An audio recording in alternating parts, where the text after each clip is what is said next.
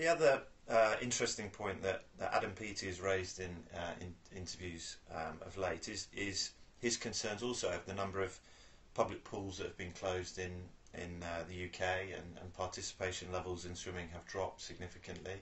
Is that a concern for you as well? I think so. I think the um, the results recently of the participation levels were quite shocking. There's always when they do surveys, there's the question of how who was How know, accurate, how yeah. accurate it is, were the were the questions different, worded differently to they were before. So there's always a, a bit of a grey area, but I, I think it's fair to say there was definitely a drop.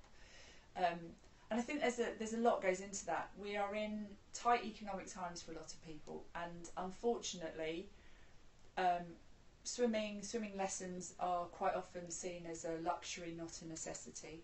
Going for a swim can be quite expensive, even at your local leisure centre. So if you want to regularly go for a swim with, you know, take children for a swim, you know, it can be pricey.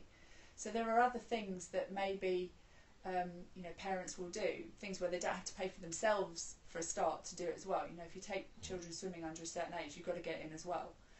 Um, and adults too, then there might be other things that are less expensive. And if you start shutting local pools and you've got to travel further to find a pool or be a member of a health club, gym, it's getting quite expensive just to, to keep swimming up. So I can see why um, that could be one of the reasons why participation's gone down. Um, and it is it is a shame. I, I don't know the answer because pools are expensive to run. And whilst there do seem to be a lot more pools in gyms, a lot more health clubs that have swimming pools, that they're not accessible to most people because they're cost prohibitive or because you know they're not necessarily in the town centre that it's easy to get to. So it's it's hard because I don't I, I couldn't tell you the answer to that because where do you where do you get the money? I think you know swimming is a life skill. Um, it's not it's not a luxury. It should be the top of people's list of things they should be doing. It is one of the best ways to keep fit. It's great for um, you know people who are overweight coming back from injuries or um, operations, um, illnesses.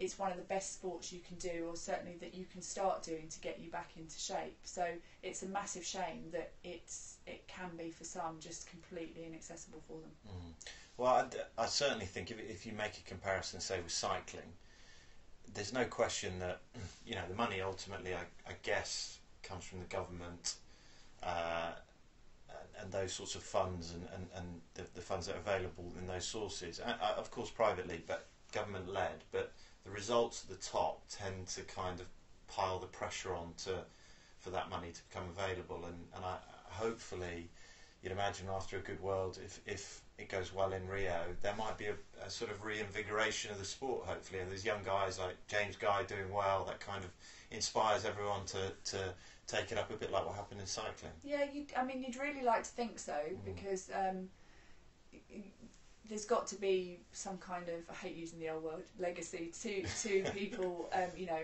getting those results, and you'd really like to think that that will make people want to swim. Or if you look at Adam Peaty's physique, I'm sure that there's a lot of guys out there who think I'll go swim if I can look like that. I mean, that that's is it, is alone. it easy to get? yeah, he doesn't train much at all. um, so th- there's got to be that kind of I- idea that you know it's it is a good way to get fit and healthy, and it and it's one of the sports, the only sports that you can do pretty much until you know you drop down dead because Mm. there's very few sports that we'll be able to do when you're 80, 90 years old, Yeah, but you can swim. Mm. So if you don't have that ability, then then you're going to miss out in, in later life. So it is really important to keep swimming pools open. But if if councils are looking at spending money and they're thinking, right, what's what's cheaper, building a you know a skateboard park or running a swimming pool or putting in uh, I don't know an astroturf or building a swimming pool. I mean, there's just no comparison. So there has to be some kind of um, understanding of like just the importance of, of swimming pools and, and how important it is to maintain them, keep them open, make them attractive for people because there's still that, you know, your local leisure centre, people have this idea of um, the foot baths and Yeah. verrucas and all the rest of it, don't they, plasters floating. Yeah. Most pools aren't actually like that. They're actually really nice now compared to when I started out. Um, they are they are generally a, you know a lot better.